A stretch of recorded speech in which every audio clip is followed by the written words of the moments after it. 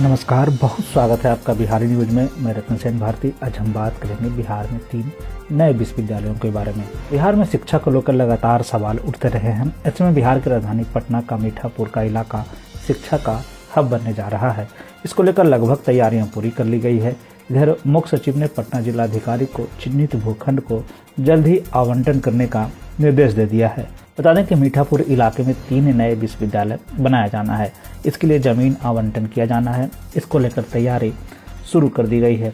बता दें कि विश्वविद्यालय निर्माण को लेकर मीठापुर बस स्टैंड को बैरिया में शिफ्ट कर दिया गया है। इसके बाद अब मीठापुर बस स्टैंड के पास 17 एकड़ ज़मीन खाली बची हुई है।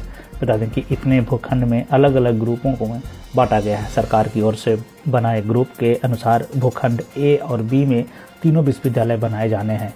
सरकार की ओर से बनाए गए ग्रुप के अनुसार भूखंड ए और बी तीनों विश्वविद्यालय बनाए जाने हैं। इसमें पाटलिपुत्र विश्वविद्यालय के अलावा बिहार चिकित्सा शिक्षा व बिहार तकनीकी शिक्षा विश्वविद्यालय बनाया जाना है।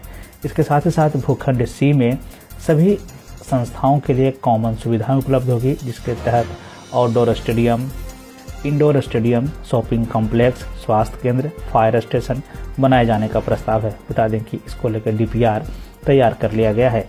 भूखंड डी के संपूर्ण विकास को लेकर इग्नू के क्षेत्रीय सेंटर की चार दीवारी को 9 मीटर करने का प्रस्ताव है, ताकि बीच की कॉमन हरित पट्टी को चौड़ी की जा सके। इधर भूखंड डी और ई में हरित पट्टी में बड़ी भूखंड डी पूरी तरह से ग्रीन सड़क के तौर पर तैयार किया जाएगा। इसके लिए कमेटी बनाई जानी है। बताया जा रहा है कि मौलाना मजहूर हक अरबी फारसी विश्वविद्यालय के परिसर और मुख्य द्वार में चंद्रगुप्त प्रबंध संस्थान को जोड़ने वाली सड़क के बीच का क्षेत्र नक्शा में ई के रूप में अंकित किया गया है। बता दें कि यह पूर्व से हरित क्षेत्र के रूप में प्रस्तावित है, परंतु प्रस्तावित मेट्रो रेल परियोजना के बन जाने के बाद इस एरिया में सी में आवागमन के लिए, चौड़ा करने के लिए एरिया ई को शामिल किया जाएगा, ताकि पीछे की ओर स्थित संस्थानों में आवागमन की सुविधा आसान हो सके। लोग आसानी से एक जगह से दूसरी जगह पे आ जा सके। मीडिया में चल रही खबरों की माने तो पाटलिपुत्र विश्वविद्यालय के नवनियुक्त कुलपति की बिहार के शिक्षा मंत्री से मुलाकात हो सकती है। बताया जा रहा है कि कुलपति की मुलाकात में विश्वविद्यालय की ज़मीन को लेकर बातचीत होने की बात कही गई है। यानी कि जैसे ही विश्वविद्यालय के पास ज़मीन का आवंटन हो जाएगा, वैसे ही यूजीसी की मान्यता बारह बी के तहत मान्यता प्राप्त हो जाएगी।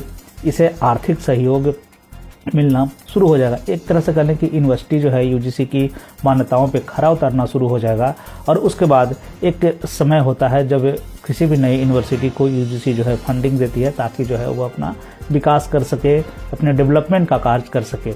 ऐसे में ये भी कहा जा रहा है कि नए ग्रेडिंग के लिए भी तैयारी शुरू हो जाएगी। उसके बाद जो है यूजीसी जो है, नए ग्रेडिंग देती है कि यूनिवर्सिटी जो है, वो किस लेवल का है, किस स्तर का है, किस दर्जे का है, उसके अंदर मिलने मिलने वाली सुविधाएँ जो है, किस स्तर की है। तो दोनों चीज़ें, जैसे ही ज़मीन का आवंटन होता है तो पाटलिपुत्र विश्वविद्यालय जो है, इसके पास दो तरह की सुविधाएँ शुरू हो जाएगी। एक तो कि पैसे का आवंटन शुरू हो जाएगा यूजीसी की तरफ़ से, और दूसरा नए की ग्रेडिंग हो जाएगी। तब ये पता चल पाएगा कि विश्वविद्यालय जो है, किस स्थिति में है और क्या क्या कार्य यहाँ से किए जा रहे हैं। इधर इस ज़मीन के मामले को लेकर बोलते हुए पटना के जिलाधिकारी डॉक्टर चंद्रशेखर ने बताया कि किस संस्थान को कितनी ज़मीन दी जाए, इसको लेकर शिक्षा विभाग से मार्गदर्शन मांगा गया है। तो एक तरह से कह लें कि अब जो है, मीठापुर का इलाका जो पहले कभी बस स्टैंड के नाम से हम जानते थे, लंबे समय तक लोग जो है, यहाँ बस की सवारियाँ यहाँ से करते थे, लेकिन अब जो है उस स्टैंड को बैरिया में शिफ्ट कर दिया गया है और वो जो है एक इंटरनेशनल बस स्टैंड बन गया है बैरिया में। अब मीठापुर की जो खाली ज़मीन है, वहाँ पे जो है एजुकेशनल हब बनाने की बात कही जा रही है, जिसके तहत तीन नई यूनिवर्सिटियों को स्थापित करने की बात कही गई है। बिहार और बिहार से जुड़ी हुई और भी ऐसी खबरों के लिए बने रहें बिहारी न्यूज़ के साथ। मुझे दीजिए इजाज़त। धन्यवाद।